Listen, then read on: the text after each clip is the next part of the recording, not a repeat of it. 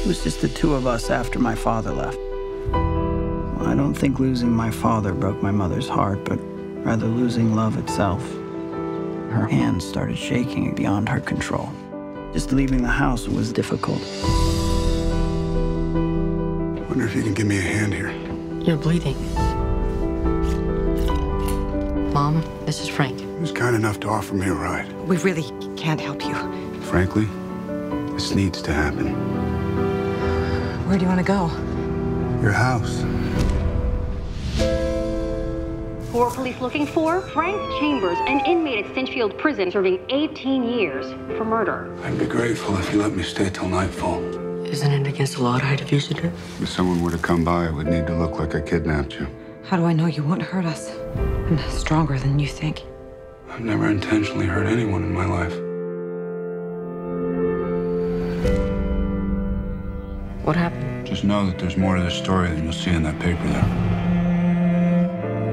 You won't be needing that any longer. When you have to say I tied you up, you won't be lying. Choke up on the bat, hands together. It's a good peach. I should throw most of them away before they rot. I have another idea. Does a fellow let a woman like your mother get away? He got together with his secretary. He's infected. I'll send Henry for medicine. Keep an eye out, all right? I should go. Maybe you should stay. They're not going to stop looking. I know. They were two people who couldn't go out into the world, so they made a world with each other. I'd take 20 more years just to have another three days with you. I can't give you a family. You already have. Adele? Are you a friend? Just a handyman. We're going to hit the road and never look back. Well, withdrawal in this quantity, this a little suspicious. All right, son. You want to tell me where you're going?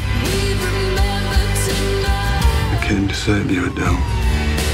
No.